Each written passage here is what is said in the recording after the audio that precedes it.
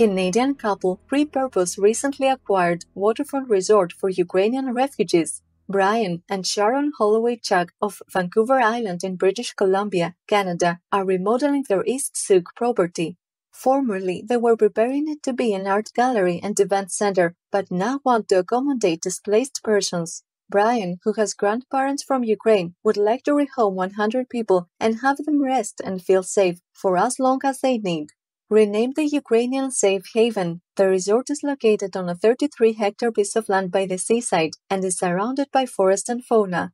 Local members of the community have been very supportive of the non-profit project, with helpers volunteering their time and donating for the cause. A heroic salute, Brian and Sharon Holowachuk. Your open hearts and caring actions will surely bring much needed comfort and stability to many. May the resilient people of Ukraine soon have peace and enjoy a shining future in the upliftment of the Providence.